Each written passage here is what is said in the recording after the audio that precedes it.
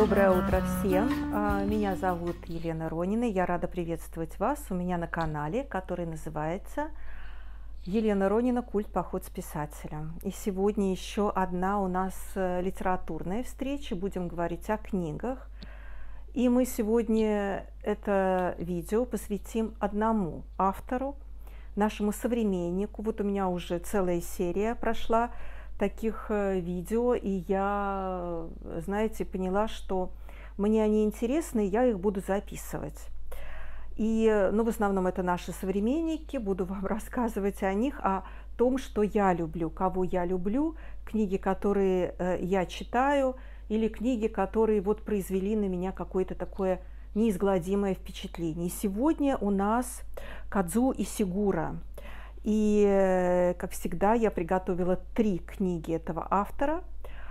Поговорим немножко о нем. Кадзуи Сигура, э, автор, которого, э, который с одной стороны пишет о нашем дне, с другой стороны все его произведения немножко мистические, немножко фантастические – и этим он притягивает, э, потому что ты никогда не понимаешь, где ты находишься, в сегодняшнем дне или это мир выдуманный, и неужели такое может произойти с нами когда-то. То есть он э, пишет о том, что вот вы живете себе спокойно, а зря, потому что завтра все может быть совершенно по-другому. И знакомство с этим автором у меня началось с фильма – фильм, который называется «Не отпускай меня». Вот я вам приготовила эту книжку, покажу. Сначала я посмотрела фильм. Пришла в полный ужас, написала рецензию на этот фильм. Знаете, у меня есть такие э, рецензии с э, пометкой «не», э, что вообще не рекомендую я вам смотреть этот, этот фильм, если вы психически нормальный человек. Я как-то случайно набрела на него поздно вечером, начала смотреть, остановиться не смогла. И вот пришла, вот полночи не спала. Кстати говоря, вы знаете, вот у меня есть такие рецензии, потом эти фильмы смотрят очень много народа. И мне вот написали, что Елена, вот вы посмотрели, что-то написали, вообще-то разберитесь и со всем, и с фильмом, и с автором. И да, я поняла, что, э, что сценарий этого фильма написал, как и книгу, по которой создано было это произведение, Кадзуи Сигура. Я поняла, что эту книгу ужасную я, конечно, читать не буду. И я пошла в магазин, чтобы купить другую книгу этого же автора, Кадзуи Сигура «Остаток дня», но книги не было, и купила вот эту книгу. Я ее прочитала.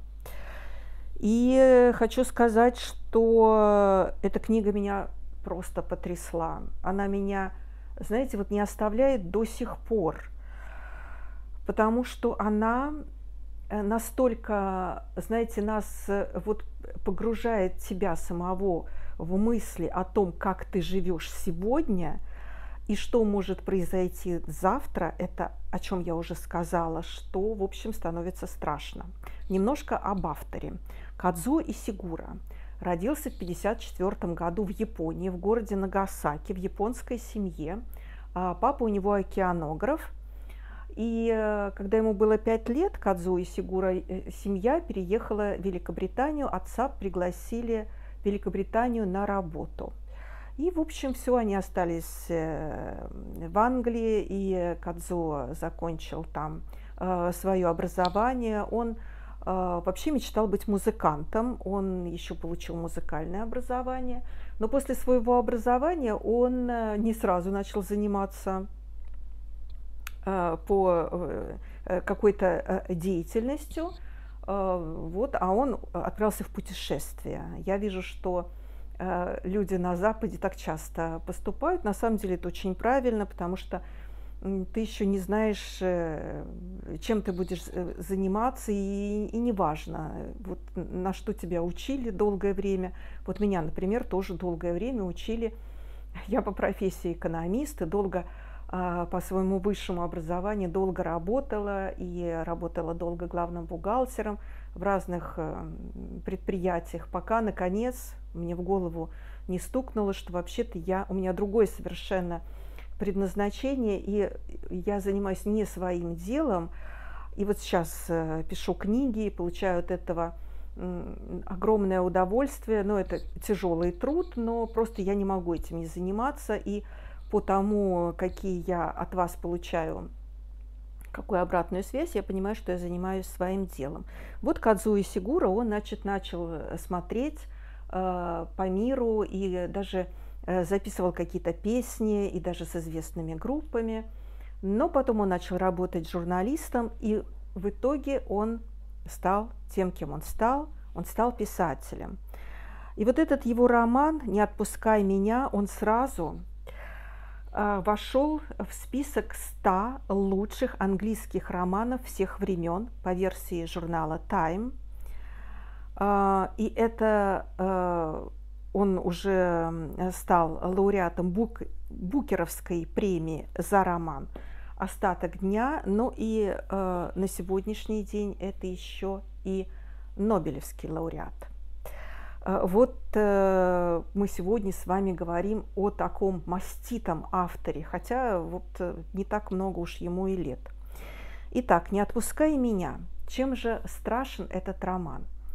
Он страшен тем, что он рассказывает о детях, о детях, которые живут в интернате, и вроде как у них такая простая жизнь с их увлечениями, с футболами, с играми, Э, с какими-то э, знаете, приятием и неприятием этой, этих жизненных ситуаций. Здесь они друзья, здесь они переругались, но обычные дети, обычные да необычные, потому что им уготована необычная судьба. Этих детей готовят э, к тому, что они станут донорами. И они об этом знают – и знают об этом их, э, естественно, наставники, учителя, они знают, к чему готовятся, и они готовят эти, этих детей. И они им рассказывают, ну да, вот такая жизнь, вот кто-то вот так живет, богатыми и красивыми, и у них длинная, интересная жизнь. А кто-то, извините, но вот эти же люди, которые богатые и э, вот хорошо живущие, они же когда-то заболеют, возможно, вдруг, и что им делать? Им же нужны будут э, и сердце, и почки, и печень, или рука и нога. Ну вот вы, дети, вот для этого здесь существуете. Вот такой вроде как дикий, совершенно абсурдный роман написан вот таким очень простым, очень бытовым, житейским языком. И ты, э, когда оказываешься внутри этого романа, вообще не понимаешь, как так можно жить? Где справедливость? Почему никто не возмущается? Почему никто не скажет «довольно», что это ужас ужасный? А, я этот роман пропуск... Э, прочитала давно.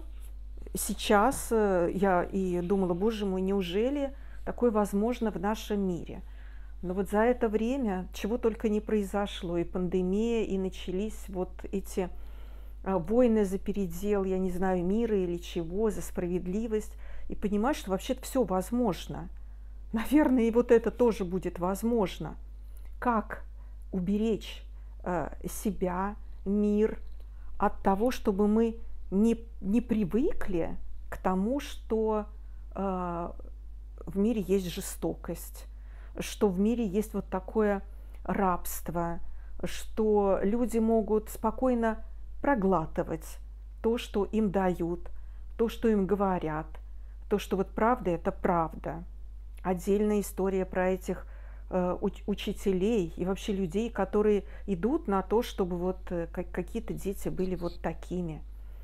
Э, я, когда писала рецензию, потом уже на роман, я сейчас ее перечитала и обязательно еще, знаете, опубликую ее на своем телеграм-канале. Вы на мой телеграм-канал заходите, я там про все книги, которые я э, прочитываю, вот э, обязательно пишу рецензии. Ну, это мое личное мнение. Оно, кстати говоря, знаете, я поняла, что мои рецензии на театральные постановки, на кинопостановки, как правило, всегда в разрез идут с кинокритиками. Ну, потому что я просто вот любитель, человек, который много читает, много смотрит, и мне хочется про это, а, об этом рассказать. Я этот а, роман даже э, сравниваю с романом Шлинка «Чтец», потому что вот там тоже надзирательница, когда она в газовую камеру отправляла э, ребенка, ей хотелось помочь, чтобы вот он там не споткнулся, когда он шел в эту газовую камеру.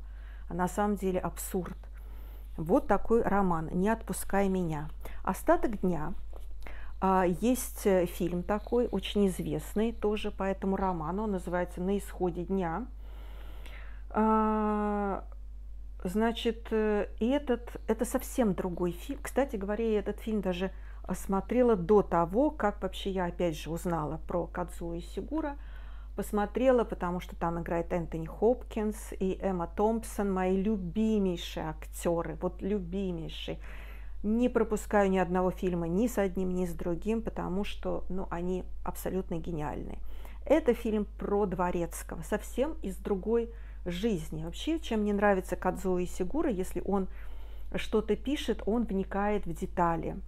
Вот я считаю, что автор – должен этим заниматься. Он четко должен знать, чем он пишет, о чем он пишет. Но он не должен, э, вот, э, знаете, упиваться вот этим моментом. Знаешь, напиши два слова, напиши атмосферу и обстановку, а не рассказывай нам историческую справку. Может быть, я сама тоже иногда грешу вот этим делом, но вот когда я читаю такую литературу, я понимаю, что это неправильно. Вот у Кадзу и Сигура у него все выверено. Итак, Дворецкий – человек, который тоже посвятил себе свою жизнь э, вот э, работе в большом доме, э, в большом дворце, при том, что это идет вот эм, да, вот даже видите, у меня тут есть какие-то закладочки. Не хочу вас отвлекать от, видимо, хотела, чтобы еще что-то я перечитала здесь. Из э, поколения в поколение в семье все работают э, вот в этом дворце, и они э, в итоге достигают места этого дворецкого. Как правильно работать на этом месте, э, как с достоинством занимать то или другое место, которое тебе уготовано в этой жизни – с одной стороны, с одной стороны да, э, быть настоящим профессионалом. С другой стороны, это опять, знаете, вот немножко про, про рабство.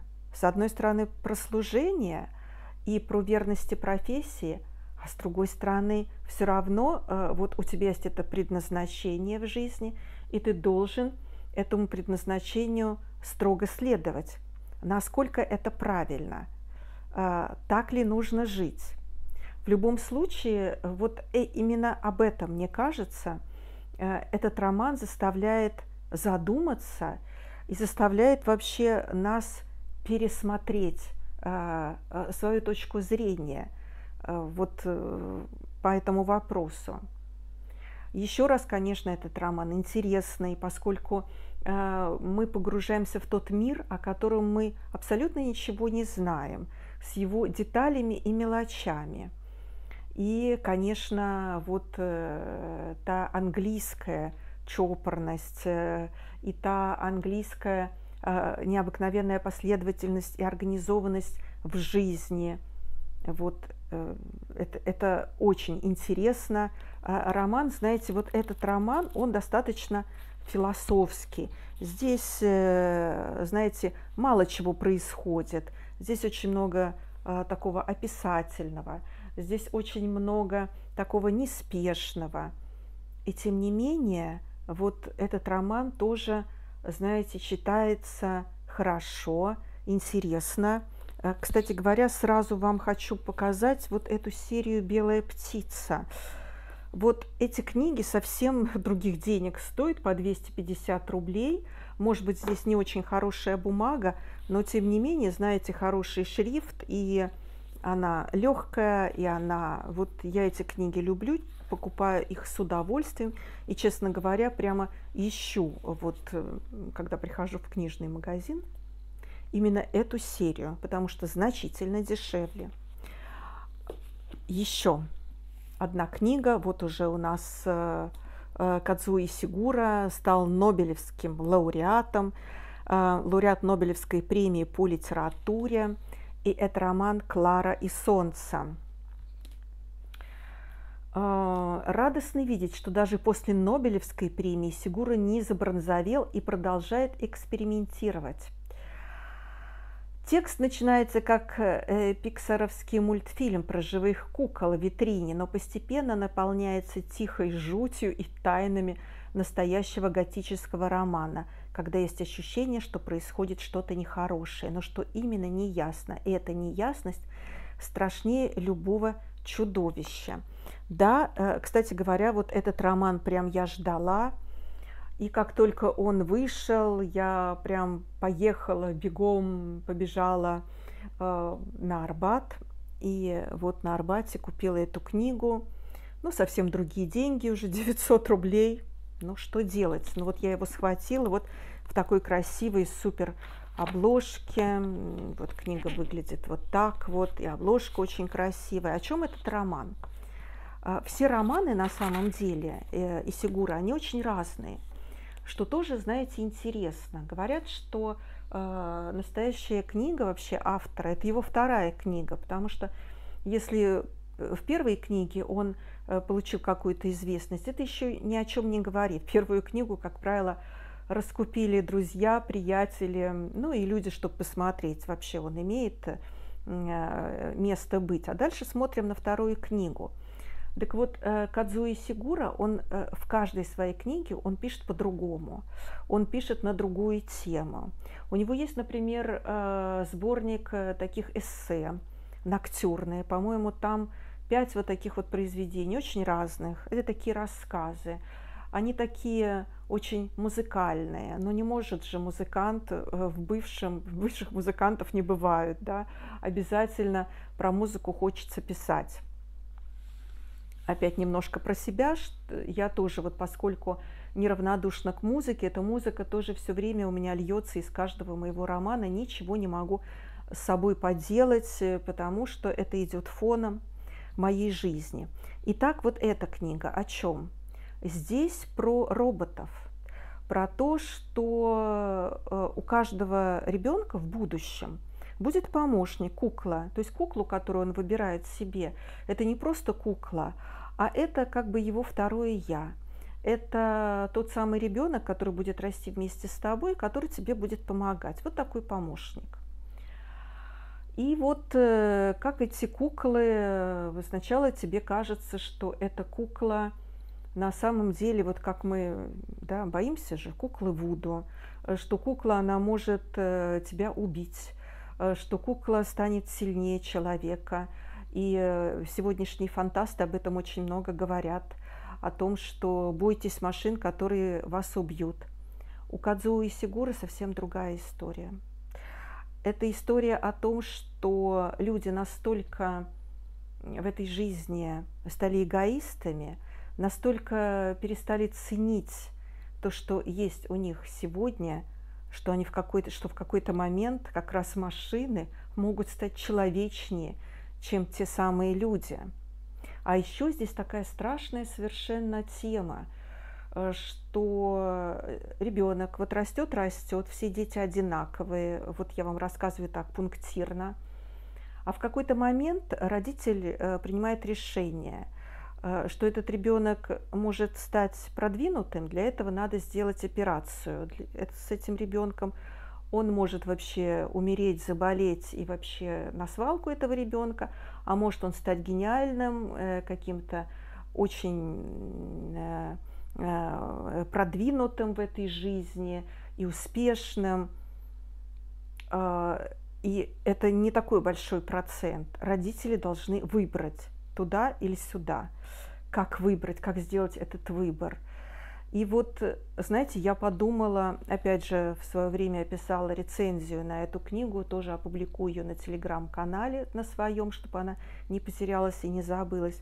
Это что же про сегодняшних нас, про нас, которых э, мы пичкаем своих детей бесконечными уроками, бесконечными э, занятиями. Тут у вас английский, тут у вас спорт, тут у вас математика, тут у вас, я не знаю, программирование – Э, языков должно быть много, и среди них должны быть и восточные языки обязательно. Неизвестно, с кем России придется э, дружить э, завтра.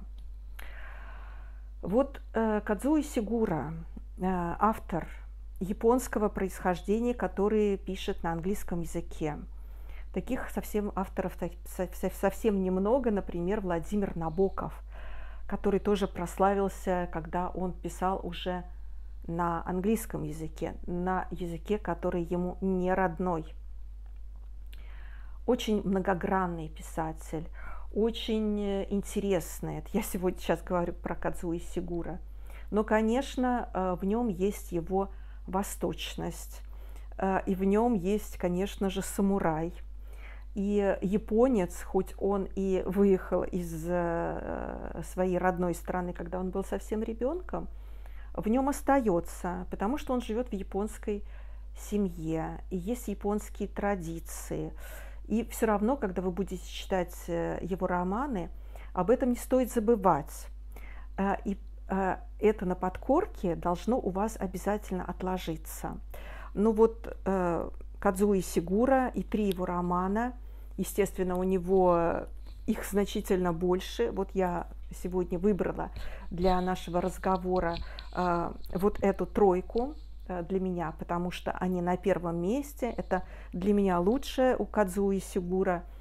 Возможно, я буду читать дальше, и что-то мне еще понравится. Я сниму еще раз, еще другое видео, ну почему нет? Ну, а я рада, что мы с вами читаем сегодня, что мы э, вместе интересуемся литературой, мне кажется, что это очень важно, читать разных писателей, читать другое мнение, а, что-то новое э, для себя открывать. И э, в других странах обязательно, и иностранных авторов обязательно, и сравнивать. И мир, он очень многогранный, он очень большой, и все равно планета у нас общая. Все мы на одном земном шаре умещаемся. Ну и я всем желаю мира и добра, да, как говорят японцы. Вот так вот э, берегите друг друга, а я рядом.